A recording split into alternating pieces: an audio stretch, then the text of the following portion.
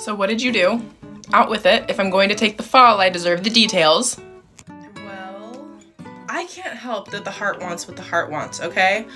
We hit it off like the first week that he started, and he reassured me that he's leaving her. They've been trapped in a loveless marriage for like a year. Okay, well, I'm not taking the fall for you again.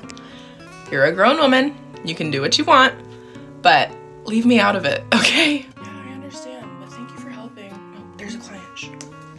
Hi, welcome in. Do you have an appointment today? Oh no, I don't. My boyfriend just started here, so I wanted to surprise him with some lunch. He's your boyfriend? Our new stylist? Yeah, he, he's scheduled today, right? Mm-hmm. Let me just go get him for you. I knew he had a wife, but I thought I was the girlfriend. I'm the only one not with him, and I got yelled at.